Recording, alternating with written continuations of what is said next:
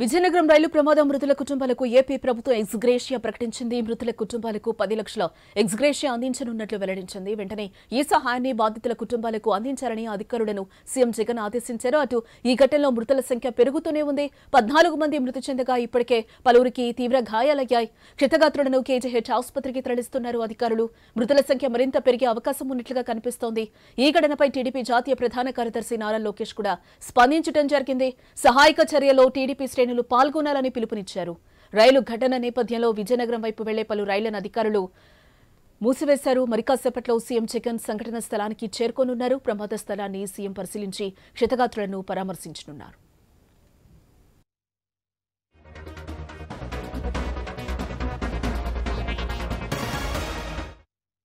ఇక ఇదే అంశానికి సంబంధించి మరింత సమాచారం మా ప్రతినిధి రాజు. లైవ్ ద్వారా అందిస్తారు. ఎస్ రాజు ప్రమాద స్థలి వద్ద పరిస్థితి ఏ విధంగా ఉంది? మృతుల సంఖ్య ఇంకా ఏమైనా పెరిగే అవకాశం కనిపిస్తోందంటారా? ఏంటి? గత రాత్రి జరిగినటువంటి ఏదైతే కంటకాపల్లి రైల్వే దుర్ఘటన ఉందో అయితే ఇప్పటి వరకు ఎప్పటి వరకు కూడా సంఘటనా స్థలంలో సహాయక చర్యలు అయితే ముమ్మరంగా కొనసాగుతున్నాయని చెప్పుకోవచ్చు. ఆ, గత రాత్రి రెండు రైళ్ళు అయితే ఢీకొన్నాయి. దాంట్లో మూడు బోగీలు అయితే ధ్వంసం అయ్యాయి ధ్వంసమైన బోగీల్లో ఉన్నట్టు ఆ క్షతగాత్రుల్ని మృతదేహాలు కూడా తరలించడం అయితే ఇప్పటి వరకు పూర్తయిందని చెప్పి రైల్వే అధికారులు చెప్తున్నారు. ఈ నేపథ్యంలో ఈ రోజు పదమూడు మంది వరకు మృతి చెందినట్టు అధికారులు అయితే ఇప్పటి వరకు ప్రకటించారు. మృతుల సంఖ్య అయితే ఇక హాస్పిటల్లో చికిత్స పొందుతున్న వారి పరిస్థితిని బట్టి మృతుల సంఖ్య పెరిగే అవకాశాలు ఉన్నాయని చెప్పి రైల్వే అధికారులు అదేవిధంగా వైద్యులు కూడా ప్రకటించడం జరిగింది. ఈ నేపథ్యంలో సంఘటన స్థలంలో అయితే ఇంతవరకు మరి అయితే ఇప్పటి వరకు ఉన్నటువంటి మృతదేహాలను కానీ క్షతగాత్రులు కానీ పూర్తిగా తరలించామని చెప్తున్నారు. ఈ నేపథ్యంలో విజయనగరంలో పదమూడు మృతదేహాలకి కూడా పోస్ట్ మార్టం కూడా పూర్తవుతుంది. ఇప్పటికే కొంతమందిని బట్టి వారి కుటుంబాలకు కూడా అప్పగించడం జరిగింది. ఈ నేపథ్యంలో రాష్ట్ర ముఖ్యమంత్రి జగన్మోహన్ రెడ్డి మరి కాసేపట్లో విజయనగరం సర్వజన ఆసుపత్రికి అయితే రావడం జరుగుతుంది. దీనికి సంబంధించి పూర్తిగా ఏర్పాట్లు కూడా జరుగుతున్నాయి. జిల్లా కలెక్టర్ ఆ, నాగలక్ష్మి ఎస్పీ దీపిక ఆధ్వర్యంలో పూర్తి పర్యవేక్షణ జరుగుతుంది. ఇప్పుడే కొద్దిసేపటి క్రితం రాష్ట్ర విద్యాశాఖ మంత్రి బొత్స సత్యనారాయణ కూడా ఆ, అయితే ఆసుపత్రిలో పరామర్శించడం జరిగింది. అదేవిధంగా సీఎం జగన్ పర్యటనకు సంబంధించి ఏర్పాట్లు కూడా పరిశీలించారు. ఈ నేపథ్యంలో ఇక్కడికి వచ్చినటువంటి జగన్మోహన్ రెడ్డి ఎవరైతే బాధితులు ఉన్నారో బాధితుల కుటుంబాలకి ఆ మృతదే మృతుల కుటుంబాలకు అయితే పది లక్షల చొప్పున ఎక్స్గ్రేషియా ప్రకటించారు. అదేవిధంగా తీవ్రంగా గాయపడ్డ వారికి రెండు లక్షలు స్వల్పంగా గాయపడ్డ వారికి యాభై వేల చొప్పున అయితే ఇప్పటివరకు ఎక్స్గ్రేషియా ప్రకటించడం జరిగింది. దీనికి సంబంధించి ఆ పంపిణీ కార్యక్రమం కూడా చురుగ్గా సాగుతున్నట్టుగా తెలుస్తుంది. అయితే జగన్మోహన్ రెడ్డి వచ్చిన తర్వాత ఈ ఎక్స్గ్రేషియా విషయంలో ఒక ప్రకటన అయితే చేసే అవకాశం ఉంది. రాష్ట్ర ప్రభుత్వం కూడా దీన్ని పెంచే అవకాశం కూడా ఉన్నట్టుగా అయితే స్థానిక నాయకులు తెలియజేస్తున్న పరిస్థితి కనిపిస్తుంది. ఏదైనప్పటికీ కూడా గత రాత్రి జరిగినటువంటి రైలు ప్రమాద దుర్ఘటన అయితే చాలా తీవ్రమైనగా పరిగణించాల్సిన అవసరం ఉంది. ఇందులో అధికారుల నిర్లక్ష్యం ఉందా లేదంటే రాజు ఈ ఘటన అయితే ఒడిశా ప్రమాద ఘటన అయితే మళ్ళీ గుర్తు చేస్తుందని చెప్పొచ్చు. ఎక్కడ ఈ లోపం జరుగుతోంది? సిగ్నల్ వ్యవస్థలో లోపం జరుగుతోంది అనుకోవచ్చా? ఏంటి అసలు ఈ తప్పిదాలు? కంటిన్యూస్గా మనం చూస్తూనే ఉన్నాం. అప్పటి నుంచి ఇప్పటి వరకు కూడా అధికారులు తేరుకోని పరిస్థితి కనిపిస్తోందా? ఏంటి? ఈ ఘటనని మనం ఏ విధంగా చూడాలి అంటారు? ఎక్కడ నిర్లక్ష్యం?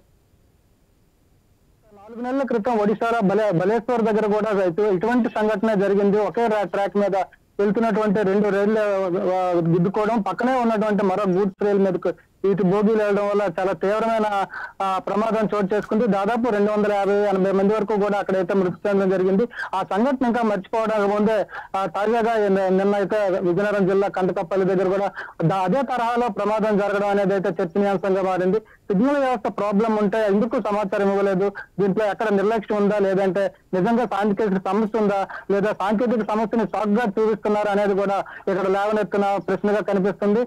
దీనికి సంబంధించి ఇప్పటికే సిపిఎం నాయకులు కూడా అనుమానాలు అయితే వ్యక్తం చేశారు. దీనిపై పూర్తి విచారణ అయితే చేయాలని చెప్పి డిమాండ్ చేస్తున్నారు. తరచుగా ఇటీవల జరుగుతున్నటువంటి రైలు ప్రమాదాలు చూసుకుంటే పూర్తిగా సాంకేతిక సమస్యలు అని చెప్తున్నారు. టెక్నాలజీ పెరుగుతుంది. రోజు రోజుకి కూడా రైల్వే శాఖలో మార్పులు కూడా చోటు చేసుకుంటున్నాయి. ఈ టెక్నాలజీ వినియోగించుకోవడంలో పొరపాట్లు జరుగుతున్నాయా? లేదంటే ఉద్యోగస్తుల అలసత్వం అనేది కూడా ఇక్కడ ప్రస్తుతం కనిపిస్తుంటున్న సమస్య అయితే ఏదవుతుందో అది ఒక ప్రశ్నగా మారుతుంది. దీని మీద పూర్తి అనుమానాలు కూడా వస్తున్నాయి. దీని మీద పూర్తి విచారణ జరగాలని చెప్పి డిమాండ్ జరుగుతుంది. అదేవిధంగా రాబోయే రోజుల్లో ఎలాంటి ప్రమాదాలు నివారించాలన్నా సిగ్నల్ వ్యవస్థలో మార్పులు తేవాలన్నా కూడా పూర్తి స్థాయిలో కేంద్ర ప్రభుత్వం దృష్టి సారించాలని చెప్పి కూడా ఆ డిమాండ్ అయితే ఉంది.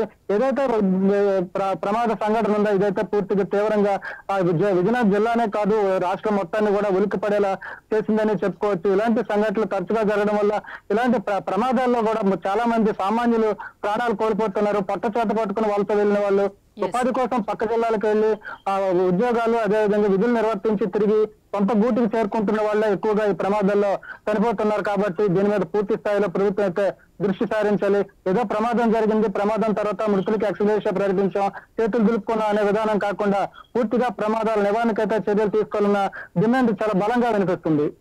ఎస్ రాజు అంటే ఇప్పటివరకు ఏమైనా అధికారులు విచారణ చేయడం జరిగిందా? ఏమైనా ఒక అంచనాకు వచ్చారా? ఎందుకు జరిగింది అనేది? ప్రస్తుతం పరిస్థితి చూసుకుంటే సంఘటన ఏదైతే జరిగిందో ఆ ప్రాంతం అంతా కూడా పూర్తిగా రీస్టోరేషన్ కార్యక్రమంలోనే అధికారులు ఉన్నారు.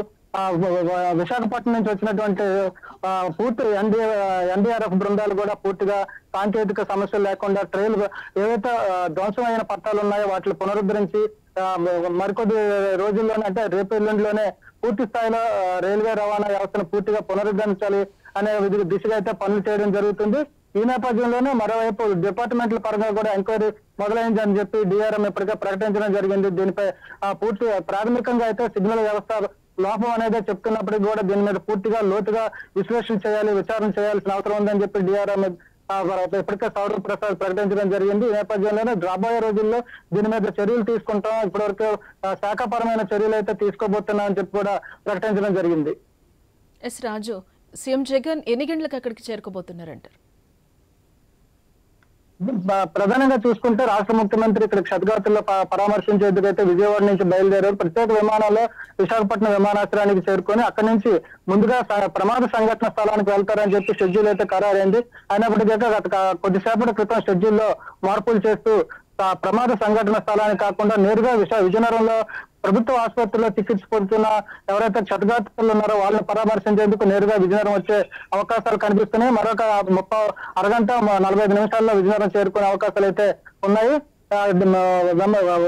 విశాఖపట్నం విమానాశ్రయం నుంచి ప్రత్యేక హెలికాప్టర్లో విజయనగరంలో పోలీస్ బ్యారెక్స్లో ఏర్పాటు చేసినటువంటి హెలిప్యాడ్ చేరుకుంటారు. అక్కడి నుంచి రోడ్ మార్గంగా పక్కనే ఉన్నటువంటి ఆసుపత్రికి చేరుకుంటారు. ఆసుపత్రిలో అక్కడ ఉన్నటువంటి క్షతగాత్రుల్ని అదేవిధంగా మృతుల కుటుంబాలను కూడా పరామర్శిస్తారు.